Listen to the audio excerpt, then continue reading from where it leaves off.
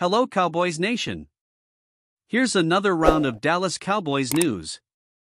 Don't forget to subscribe to the channel and like it for not team. Dak is ready for the playoffs, predicts Cowboys coach. Dallas Cowboys quarterback Dak Prescott has had one of the best seasons of his eight year career, as he tries to lead his team into the postseason playoffs for the fifth time. And his coach, Mike McCarthy, has a prediction. I really like the way he's playing, said McCarthy. I think he's definitely ready for the playoffs. Dak has seen his name mentioned as an MVP candidate due to his winning streak that has seen him lead Dallas to seven wins in eight weeks, but it hasn't all been smooth sailing, of course. But despite being on a two game losing streak, McCarthy thinks his quarterback has handled everything that's been thrown at him this year. The regular season is clearly different from the playoffs, said McCarthy, but I like the job he's put together. You're going to go through adversity, so it's just a question of when, how much, and how it happens to you. I think he's handled it very well. Much of the offseason was dominated by the look of the Cowboys' offense, with McCarthy taking over responsibility from the departed Kellen Moore. Dubbed the Texas Coast Offense, McCarthy has installed the principles of the West Coast offense with quick, accurate throws where the time between quarterback and receiver is of great importance to help reduce Dak's league leading total of 15 interceptions in 2022. Well, it worked, as Prescott has thrown just seven this season, three in a game against the 49ers, while throwing for 30 touchdowns and 3,892 yards. I just went through the first quarter of the season, we started a little slower, and once we got going, I think he did a great job of really running the system, McCarthy said. We spend a lot of time as an off-season staff setting up our schemes, and he has to deal with the changes as far as command of the huddle, the cadence, and that's a constant that grows every week. I really like the way he's playing, I think he's definitely ready for the playoffs. The Cowboys still have two games left in the regular season when they face the Detroit Lions at AT&T Stadium, the next on the calendar. After a loss to Miami, in which the Prescott led offense wasn't consistent but managed to mount a big drive late to take the lead, this will be Dallas' third playoff like game in a row. Prescott has played good football this season, but against another contender, he'll have to put on a show for 10 5 Dallas to overcome 11 4 Detroit on Saturday night at AT&T Stadium. If he does, it will be further validation for McCarthy that Dak really is ready for the playoffs. Jerry Jones sees Cowboys legend as potential coach. For now, Dallas Cowboys owner Jerry Jones seems to have his coach Mike McCarthy staying put for a while, but that doesn't mean he can't anticipate a replacement for the future. Although the Detroit Lions and Dan Campbell face his team on Saturday, Jones said he noticed a similarity between Campbell and a Dallas legend. I actually thought the kind of thing we see in Dan is very appropriate for football, Jones told the Dallas Morning News. Every time I look at him, I see Jason Witten, for real. That doesn't appear to be imminent by any means. Jones made it unclear if there were any decisions to be made regarding the head coaching job about an extension, or lack thereof, that would take place in the offseason. He was hired just days after retiring from the NFL after 17 seasons, 16 of them with the Cowboys. The Dallas Cowboys have a glaring hole in their offense. Here's the Dallas Cowboys' most glaring hole in their offense ahead of the NFL playoffs and how it could cause an injury. The same problems are plaguing the Dallas Cowboys, and factors like this will unfortunately continue to haunt them in time for the playoffs. It's becoming a predictable trend every year from what Cowboys fans see. Make no mistake, Dallas has all the right seasoning in Dak Prescott, CeeDee Lamb, and other key players to get where they need to be. The only question is what they can do if the attack declines on a daily basis with the magnitude of the injuries that occur frequently. It's like a bad nightmare waiting to happen to wake you up. It's 2022 all over again, and this lesson is something Dallas can't seem to grasp. The glaring flaw in the Cowboys' attack? The offensive line.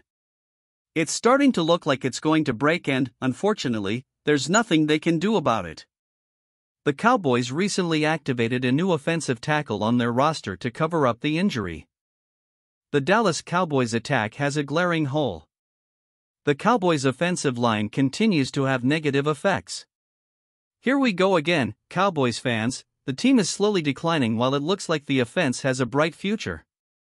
That's no longer the case, which is disappointing for a team that had high hopes for the upcoming postseason. Dallas addressed most of the problems in the last NFL draft, but left one thing out of focus the construction of its offensive line. That's probably why Tony Pollard isn't having much productivity this season and Prescott hasn't been able to get much time in the pocket. The offensive line is the obvious answer, and key players like them and Lamb are paying the price for it. It wouldn't make sense for the coaching staff and management to let this become another problem again, right?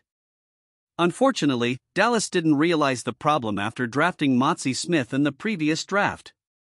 They thought they could be solid with Tyron Smith, again, and Terence Steele recovering from his catastrophic knee injury. Dallas thought wrong and should have stepped in by signing a veteran to complement the offensive line. The offensive line is what makes this team run, so any star that goes down will have a negative impact on the team. It only got worse after the line suffered another blow. The Cowboys are clearly underwater with all these problems at play, but close your eyes, it's only getting worse. Chuma Edoga is added to the injury report after being Smith's replacement in backup.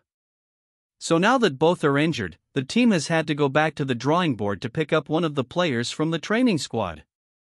It doesn't matter if he returns from injury, the way he plays won't be the same. It's worrying for the left tackle position, where they'd like to prevent talented edge rushers from coming in and using that as an advantage. However, that could be a major concern, as they could use an additional tight end like Jake Ferguson on the field to block. The Cowboys have that option, but mostly it should only be utilized on a few plays and not for the majority of the game.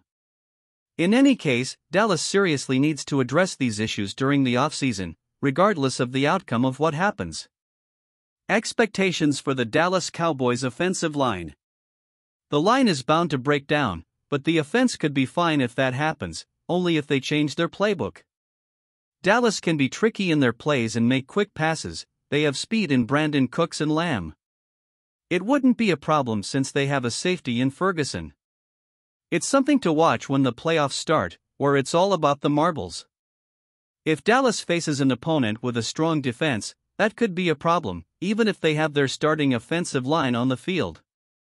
If Smith and Edoga are rested, they'll still be battling the injury they recovered from. You never know, with the Cowboys, injuries are the biggest thing holding this team back from becoming a dominant contender. Cowboys bring a poor Week 17 record into today's game. The NFL didn't start regularly scheduling Week 17 games until the 1990 season. However, the 1982 schedule had a 17th week added due to the strike. Even though the teams only played 9 games that season.